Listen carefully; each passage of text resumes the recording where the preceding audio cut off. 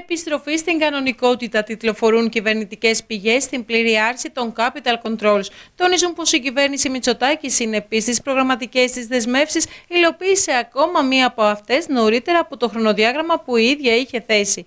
Δια του οικονομικού της επιτελείου προχώρησε στην πλήρη άρση των κεφαλαίακων περιορισμών σε συνεργασία με την Τράπεζα της Ελλάδος και με τη σύμφωνη γνώμη της Ελληνικής Ένωσης Τραπεζών και της Ένωσης Συνεταιριστικών Τραπεζών Ελλάδος. Έτσι κλείνει επιτέλους ένας τετραετής κύκλος ανασφάλειας. Ύστερα από 50 ολόκληρους μήνες, τα capital controls καταργούνται και ταυτόχρονα σε μια δύσκολη διεθνή συγκυρία ανοίγει για τη χώρα μας ένας νέος κύκλος αισιοδοξίας και για την οικονομία αλλά και για το τραπεζικό σύστημα.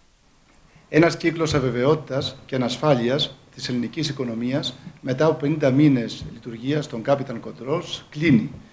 Ε, πιστεύουμε ότι οι επιχειρήσεις μετά το κλείσιμο των capital controls θα προχωρήσουν να προχωρήσουν στο επόμενο βήμα.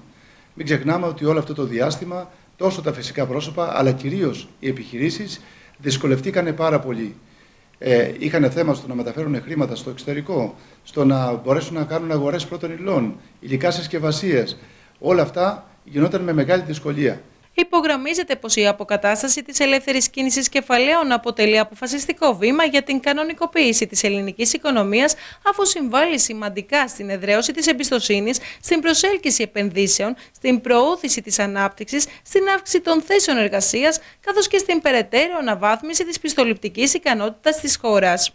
Και δεν είναι τυχαίο ότι γίνεται πριν την επίσκεψη του κυρίου Πρωθυπουργού στο Βερολίνο, αλλά ε, πιστεύουμε ότι ε, λαμβάνοντας υπόψη οι διεθνείς αγορές και οι δανειστές, ε, αλλά και η οίκη αξιολόγησης, την άρση των capital controls, θα προχωρήσουν στην αναβάθμιση της ε, ελληνικής οικονομίας με στόχο, όπως είπα, να προσελκύσουμε επενδύσεις στη χώρα μας. Τέλος, η κυβέρνηση παραμένει σταθερά προσιλωμένη στη διασφάλιση της δημοσιονομικής, χρηματοπιστωτικής και γενικότερης οικονομικής σταθερότητας. Η χώρα πρέπει να γίνει και γίνεται μια πλήρως κανονική χώρα στην Ευρωπαϊκή Ένωση.